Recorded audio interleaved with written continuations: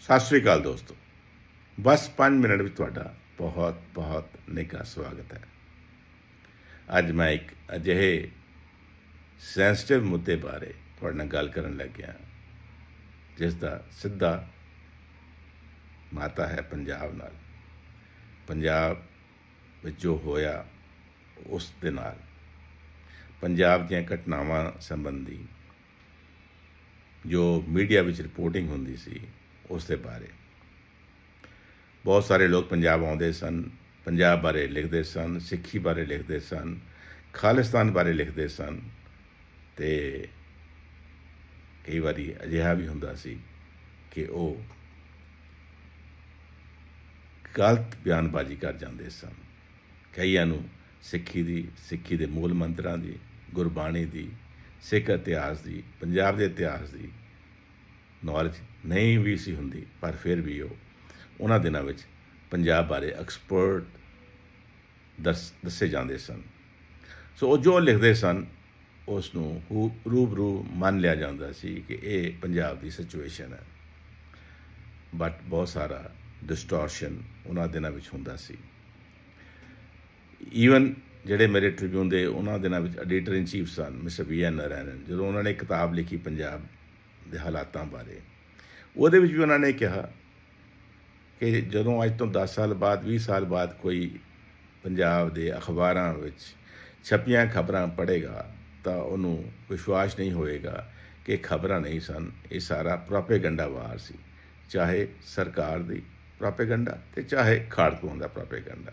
Because ਸਚਾਈ ਨਹੀਂ ਦਰਸਾਈ ਜਾ ਰਹੀ ਸੀ ਉਹਨਾਂ ਦਿਨਾਂ ਵਿੱਚ ਬਿਕਾਜ਼ ਗਵਰਨਮੈਂਟ ਦੇ ਬਹੁਤ ਸਾਰੇ ਕੰਟਰੋਲ ਸਨ ਔਰ ਵੀ ਬਹੁਤ ਸਾਰੇ ਫੈਕਟਰ ਸਨ, ਜਿਨ੍ਹਾਂ ਕਰਕੇ ਮੀਡੀਆ ਨੂੰ ਜਦੋਂ ਕਿਹਾ ਗਿਆ ਕਿ ਉਹ ਬੈਂਡ ਕਰੇ, ਤਾਂ ਮੀਡੀਆ ਨੇ ਕ੍ਰੋਲ ਕੀਤਾ। ਯਾਨੀ ਹਾਲਾਤ ਇੰਨੇ ਮਾੜੇ ਸਨ ਕਿ ਮੀਡੀਆ ਸਿੱਧਾ ਖੜਾ ਹੋ ਕੇ ਆਪਣਾ ਕੰਮ ਨਹੀਂ ਸੀ ਕਰ ਰਿਹਾ। ਉਹਨਾਂ ਦੇ ਨਾਲ ਬਹੁਤ ਸਾਰੇ ਐਕਸਪਰਟ ਜਿਵੇਂ ਮੈਂ ਕਿਹਾ, ਪੰਜਾਬ ਆਉਂਦੇ ਸਨ, ਪੰਜਾਬ ਬਾਰੇ ਆਪਣੇ ਵਿਚਾਰ ਲਿਖਦੇ ਸਨ, ਕਈਆਂ ਨੇ ਬਹੁਤ ਕਿਤਾਬਾਂ ਵੀ ਲਿਖੀਆਂ। ਔਰ ਅਨਫੋਰਚੂਨੇਟਲੀ ਕਈ ਕਿਤਾਬਾਂ ਵਿੱਚ ਕਈ ਅਜਿਹੀਆਂ ਸੀਰੀਅਸ ਮਿਸਟੇਕਸ ਹੋਈਆਂ, ਜਿਨ੍ਹਾਂ ਨੂੰ ਨਾਰਮਲੀ ਨਾਰਮਲ ਹਾਲਾਤਾਂ ਵਿੱਚ ਬਖਸ਼ਿਆ ਨਹੀਂ ਸੀ ਜਾ ਸਕਦਾ। ਪਰੰਤੂ ਉਹ ਸਮਾਂ ਅਜਿਹਾ ਸੀ ਕਿ ਕੁਝ ਵੀ ਪੰਜਾਬ ਬਾਰੇ ਉਹ ਸਿੱਖਾਂ ਦੇ ਵਿਰੋਧ ਕਿਹਾ ਜਾਂਦਾ, ਉਹ ਮੰਨ ਲਿਆ ਜਾਂਦਾ ਸੀ। ਮੈਂ ਗੱਲ ਕਰ ਰਿਹਾ ਇੱਕ ਅਜਿਹੀ ਕਿਤਾਬ ਦੀ, ਜਿਹੜੀ ਮੈਂ 1985 ਜਾਂ 86 ਜਦੋਂ ਇਹ ਕਿਤਾਬ ਆਈ। ਇੰਡੀਆ ਦਾ ਸੀਜ ਵਿਦਨ ਬਹੁਤ ਫੇਮਸ ਜਰਨਲਿਸਟ ਨੇ ਐਮ ਜੇ ਅਕਬਰ ਮੈਂ ਉਹਨਾਂ ਦਾ ਬਹੁਤ ਰਿਸਪੈਕਟ ਕਰਦਾ, ਬਹੁਤ ਉਹਨਾਂ ਦਾ ਇੱਕ ਰਿਸਪੈਕਟੇਬਲ ਥਾਂ ਰਿਹਾ ਪੱਤਰਕਾਰੀ ਵਿੱਚ, ਫਿਰ ਉਹ ਪੋਲਿਟਿਕਸ ਵਿੱਚ ਵੀ ਆ ਗਏ। ਤੇ ਮੈਂ ਉਹਨਾਂ ਨੂੰ ਜਦੋਂ ਉਹਨਾਂ ਨੇ ਕਿਤਾਬ 85 ਵਿੱਚ ਛਾਪੀ ਤੇ ਕੁਝ ਵਰਿਆਂ ਬਾਅਦ, ਸ਼ਾਇਦ ਇੱਕ ਦੋ ਸਾਲਾਂ ਬਾਅਦ ਹੀ ਮੇਰੀ ਮੁਲਾਕਾਤ ਉਹਨਾਂ ਨਾਲ ਉਦੈਪੁਰ ਵਿੱਚ ਹੋਈ, ਜਿੱਥੇ ਕਿ ਮਹਾਰਾਣੀ ਮਹਾਰਾਣਾ ਉਦੈਪੁਰ ਇੱਕ ਹਲਦੀ ਘਾਟੀ ਅਵਾਰਡ ਫੰਕਸ਼ਨ ਕਰਿਆ ਕਰਦੇ ਸਨ ਤੇ ਉੱਥੇ ਐਮ ਜੇ ਅਕਬਰ ਸਾਹਿਬ ਹੋਰਾਂ ਨੂੰ ਨਵਾਜਿਆ ਜਾਣਾ ਸੀ। ਉਹਨਾਂ ਦਾ ਇੱਜ਼ਤ ਮਾਣ ਕੀਤਾ ਜਾਣਾ ਸੀ, ਉਹਨਾਂ ਨੂੰ ਫੈਲਿਸਿਟੇਟ ਕੀਤਾ ਜਾਣਾ ਸੀ।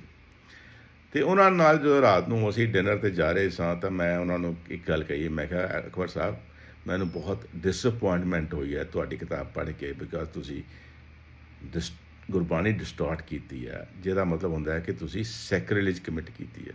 ਕਹਿੰਦੇ, ਨਹੀਂ ਨਹੀਂ, ਕਿਦਾਂ ਹੋ ਸਕਦਾ, ਕਿਦਾਂ ਹੋ ਸਕਦਾ? ਮੈਂ ਕਿਹਾ, ਤੁਸੀਂ ਜਿਹੜਾ 11ਵਾਂ ਨੰਬਰ ਚੈਪਟਰ ਹੈ ਸੰਤ ਜਰਨੈਲ ਸਿੰਘ ਪਿੰਡਰਾਂ ਵਾਲੇ, ਉਹਦੇ ਵਿੱਚ ਜਿਹੜੀ ਤੁਸੀਂ ਗੁਰਬਾਣੀ ਦੀ ਕੋਟੇਸ਼ਨ ਯੂਜ਼ ਕੀਤੀ ਹੈ, ਉਹ ਤੁਸੀਂ ਗਲਤ ਕੀਤੀ ਹੈ। ਕਹਿੰਦੇ ਨਹੀਂ ਨਹੀਂ ਕਿਦਾਂ ਹੋ ਸਕਦਾ ਮੈਂ ਉਹਨਾਂ ਨੇ ਕਿਹਾ, ਤੁਸੀਂ ਲਿਖਿਆ ਹੈ, ਰਾਜ ਕਰੇਗਾ ਖਾਲਸਾ, ਬਾਕੀ ਰਹੇ ਨਾ ਕੋਈ। ਮੈਂ ਕਿਹਾ, ਇਹ ਬਾਕੀ ਨਹੀਂ ਹੈ, ਆਕੀ ਰਹੇ ਨਾ ਕੋਈ। ਬਾਕੀ ਦਾ ਮਤਲਬ ਇਹ ਹੁੰਦਾ ਹੈ ਕਿ rest of the people will perish ਕਿ ਸਿਰਫ Khalsa will remain But no, what he said was, Gurbani says, is Aki.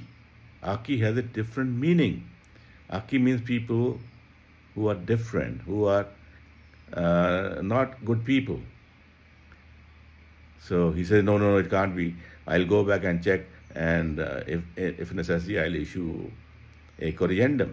I said, okay, you must do that because I'm surprised ਕਿ ਹਲੇ ਤੱਕ ਕਿਸੇ ਸਿੱਖ ਸਕਾਲਰ ਨੇ, ਸਿੱਖ ਹਿਸਟੋਰੀਅਨ ਨੇ ਇਸ ਗੱਲ ਦਾ ਤੁਹਾਨੂੰ, ਤੁਹਾਡੇ ਨੋਟਿਸ ਕਿਉਂ ਨਹੀਂ ਲੈ ਕੇ ਆਏ? ਹੁਣ ਤਾਂ ਕਿਤਾਬ ਛਪਿਆ ਵਿੱਚ ਟਾਈਮ ਹੋ ਗਿਆ।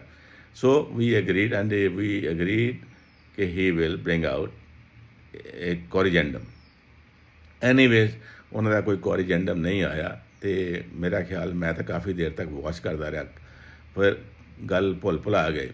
ਪਰ ਜਦੋਂ ਅੱਜ ਮੈਂ ਸੋਚਦਾ, ਜਦੋਂ ਦੇਖਦਾ ਜਦੋਂ ਤੁਸੀਂ ਕਰਦੇ ਹੋ ਲਾਈਕ ਦੇ ਸੇ ਕਿ when you have a look back ਕਿ ਪੰਜਾਬ ਨਾਲ ਕੀ ਹੋਇਆ ਸੀ? ਤਾਂ ਮੈਨੂੰ ਲੱਗਿਆ ਕਿ ਉਹ ਜਿਹੜੇ ਮਿਸ ਇੰਟਰਪ੍ਰੀਟੇਸ਼ਨ ਸਨ, ਜਿਨ੍ਹਾਂ ਵਿੱਚ ਹੁਣ ਇਹ ਕਿਤਾਬ ਹਜ਼ਾਰਾਂ ਨਹੀਂ, ਲੱਖਾਂ ਦੀ ਗਿਣਤੀ ਵਿੱਚ ਵਿਕੀ ਹੋਣੀ ਹੈ। ਉਹ ਜਿਨੇ ਵੀ ਪੜਿਆ ਹੋਣਾ ਹੈ ਕਿ ਸਿੱਖ ਤਾਂ ਇਹ ਚਾਹੁੰਦੇ ਨੇ ਕਿ ਜਦੋਂ ਉਹਨਾਂ ਦਾ ਰਾਜ ਆ ਜਾਵੇ, ਤਾਂ ਨਾਨ ਸਿੱਖ ਨਹੀਂ ਰਹੇਗਾ ਦੁਨੀਆ ਵਿੱਚ ਜਾਂ ਪੰਜਾਬ ਵਿੱਚ ਜਾਂ ਕਿਤੇ ਵੀ। ਮੈਂ ਤੁਹਾਨੂੰ ਉਹ ਕਿਤਾਬ ਵਿੱਚ ਉਹ ਪੈਰਾ ਜਿਹੜਾ ਇਹਨਾਂ ਨੇ ਲਿਖਿਆ, ਉਹ ਕੋਟ ਕਰਕੇ, ਉਹ ਪੜ੍ਹ ਕੇ ਸੁਣਾਉਣਾ। ਉਹਨਾਂ ਲਿਖਿਆ I do not want to rule ਸ਼ਾਇਦ ਮੈਂ ਇੱਥੇ ਕਲੈਰੀਫਾਈ ਕਰਦਾ ਇੱਕ, ਇਹ ਸ਼ਾਇਦ ਪੈਰਾ ਉਹਨਾਂ ਨੇ ਸੰਤ ਜਰਨੈਲ ਸਿੰਘ ਪਿੰਡਰਾਂ ਵਾਲੇ ਉਹਨਾਂ ਨੂੰ ਕੋਟ ਕਰਕੇ ਲਿਖਿਆ ਹੋਣਾ ਬਿਕਾਜ਼ ਡਾਇਰੈਕਟ ਰੈਫਰੈਂਸ ਤਾਂ ਨਹੀਂ ਦਿੱਤਾ ਕਿ ਉਹਨਾਂ ਦੀ ਕੋਟ ਹੈ ਬਟ ਤੁਸੀਂ ਇਨਫਰ ਕਰ ਸਕਦੇ ਹੋ ਜਦੋਂ ਤੁਸੀਂ ਬਾਕੀ ਦਾ ਚੈਪਟਰ ਪੜ੍ਹਦੇ ਹੋ। ਸੋ ਮੈਂ ਦੁਬਾਰਾ ਪੜ੍ਹਦਾ। I do not want to rule I would like six to rule rule Delhi, rule the world. Raj karega khalsa, बाकी रहे ना koi. In the next 10 years, the six will get their liberation. That will definitely happen. I do not know if I will be alive to see a new country or not. I have not started a new country. But that does not mean that I am against it. I am neither for nor against Khalistan. We want to stay in India as equals. It is now for Delhi to decide whether they will force us to take Khalistan or not. Whether they will allow us to live with honor or not. After all, Pakistan was created. So, this is the para 1 on uh, page 185 of the original book, which was brought out in 1985.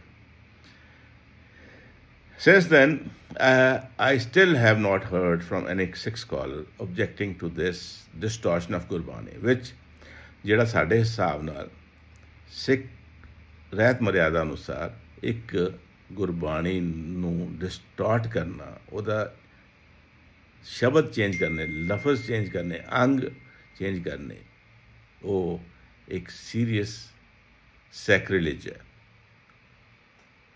ਉਹ ਗੁਰਬਾਣੀ ਦਾ ਅਪਮਾਨ ਹੈ, ਬੜਾ serious ਅਪਮਾਨ ਹੈ। ਪਰੰਤੂ ਬਹੁਤ ਸਾਰੇ ਸਿੱਖ ਸਕਾਲਰਾਂ ਨੇ ਵੀ ਕਿਤਾਬ ਰਿਵਿਊ ਕੀਤੀ, ਇਸ ਬਾਰੇ ਲਿਖਿਆ ਔਰ ਮੈਨੂੰ ਨਹੀਂ ਲੱਗਦਾ ਕਿ ਕਿਸੇ ਨੇ ਇਸ ਬਾਰੇ ਕੋਈ ਵੱਡਾ ਇਸ਼ੂ ਬਣਾਇਆ ਹੋਵੇ ਜਾਂ ਈਵਨ ਐਸਜੀਪੀਸੀ ਨੇ ਜਾਂ ਦਿੱਲੀ ਗੁਰਦੁਆਰਾ ਮੈਨੇਜਮੈਂਟ ਕਮੇਟੀ ਨੇ ਵੀ ਇਹਦੀ ਗੱਲ ਕੀਤੀ ਹੋਵੇ ਸੋ ਜਦੋਂ ਇਸ ਤਰ੍ਹਾਂ ਦੇ ਡਿਸਟੋਰਸ਼ਨ ਹੋ ਜਾਂਦੀਆਂ ਸਨ ਤੇ ਲੋਕਾਂ ਵਿੱਚ ਜਿਹੜਾ ਉਹਦਾ ਮਤਲਬ ਜਾਂਦਾ ਸੀ मीनिंग ਜਾਂਦਾ ਸੀ ਮੈਸੇਜ ਜਾਂਦਾ ਸੀ ਉਹ ਕਿੰਨਾ ਗਲਤ ਹੋ ਸਕਦਾ ਸੀ ਐਸੇ ਤਰ੍ਹਾਂ ਹੀ ਬਾਕੀ ਦੇ ਮੀਡੀਆ ਜਿਵੇਂ ਮੈਂ ਮਿਸਟਰ ਵੀ ਐਨ ਨਰੈਣ ਦੀ ਗੱਲ ਕੀਤੀ ਤੇ ਮੈਂ ਖੁਦ ਆਪ ਉਸ ਸਮੇਂ ਦਾ ਉਸ ਪੱਤਰਕਾਰੀ ਦੇ ਉਸ ਸਮੇਂ ਦਾ ਹਿੱਸਾ ਸਾਂ। ਅਸੀਂ ਬਹੁਤ ਕੋਸ਼ਿਸ਼ ਕਰਦੇ ਸਾਂ ਕਿ ਅਸੀਂ ਜਿੰਨਾ ਵੀ ਪੋਸੀਬਲ ਹੋ ਸਕੇ ਆਬਜੈਕਟਿਵਲੀ ਰਿਪੋਰਟ ਕਰੀਏ। ਬਟ ਕਿਉਂਕਿ ਸਮਾਂ ਅਜਿਹਾ ਸੀ ਕਿ ਸਿੱਖ ਪੱਤਰਕਾਰਾਂ ਦੀ ਗੱਲ ਤੇ ਜਲਦੀ ਵਿਸ਼ਵਾਸ ਨਹੀਂ ਸੀ ਕੀਤਾ ਜਾਂਦਾ ਅਤੇ ਬਹੁਤ ਸਾਰੇ ਜਦੋਂ ਬਾਹਰੋਂ ਜਰਨਲਿਸਟ ਆਉਂਦੇ ਸਨ, ਦਿੱਲੀ ਤੋਂ ਆਉਂਦੇ ਸਨ, ਦੁਨੀਆ ਭਰ ਤੋਂ ਆਉਂਦੇ ਸਨ, ਉਹਨਾਂ ਦੀ ਖਬਰਾਂ ਤੇ, ਉਹਨਾਂ ਦੀ ਲੇਖਣੀ ਤੇ, ਉਹਨਾਂ ਦੀ ਲਿਖੀਆਂ ਕਿਤਾਬਾਂ ਤੇ ਬਹੁਤ ਵਿਸ਼ਵਾਸ ਕੀਤਾ ਜਾਂਦਾ ਸੀ। ਉਸੇ ਕਰਕੇ ਹੀ ਅੱਜ ਵੀ ਜਿਹੜਾ ਸਿੱਖ ਪੱਖ ਹੈ, ਜਿਹੜਾ ਰਿਐਲਿਟੀ ਹੈ, ਜਿਹੜੀ ਸੱਚਾਈ ਹੈ, ਉਹ ਅਸਲ ਵਿੱਚ ਆਮ ਲੋਕਾਂ ਤੱਕ ਨਹੀਂ ਸੀ ਪਹੁੰਚ ਸਕੀ। ਸੋ ਮੈਂ ਸੋਚਿਆ, ਇਸ ਇੱਕ ਐਗਜ਼ਾਮਪਲ ਨਾਲ ਮੈਂ ਤੁਹਾਨੂੰ ਦੱਸ ਸਕਾਂ ਕਿ ਜਦੋਂ ਪੰਜਾਬ ਵਿੱਚ ਪੰਜਾਬ ਦਾ ਬੁਰਾ ਸਮਾਂ ਸੀ ਪੰਜਾਬ ਲਾਹੌਰ ਲੋਹਾਨ ਹੋਇਆ ਸੀ, ਉਸ ਵੇਲੇ ਕਿਸ ਤਰ੍ਹਾਂ ਦੀ ਰਿਪੋਰਟਿੰਗ ਕਿਸ ਤਰ੍ਹਾਂ ਦੀ ਤਰਜਮਾਨੀ ਮੀਡੀਆ ਕਰਦਾ ਸੀ ਪੰਜਾਬ ਦੇ ਹਾਲਾਤਾਂ ਦੀ ਤੇ ਸਿੱਖ ਸਮੱਸਿਆ ਦੀ ਤੇ ਸਿੱਖ ਐਜੀਟੇਸ਼ਨ ਦੀ। ਚਲੋ ਬਸ ਅੱਜ ਦੇ ਅੰਕ ਵਿੱਚ ਇੰਨਾ ਹੀ। ਅਗਲੀ ਵਾਰੀ ਫੇਰ ਇੱਕ ਮੁੱਦਾ ਲੈ ਕੇ ਤੁਹਾਡੇ ਸਾਹਮਣੇ ਰੂਬਰੂ ਹੋਵਾਂਗਾ। ਤਦ ਤੱਕ ਇਜਾਜ਼ਤ ਦਿਓ, ਖੁਸ਼ ਰਹੋ, ਸਲਾਮਤ ਰਹੋ।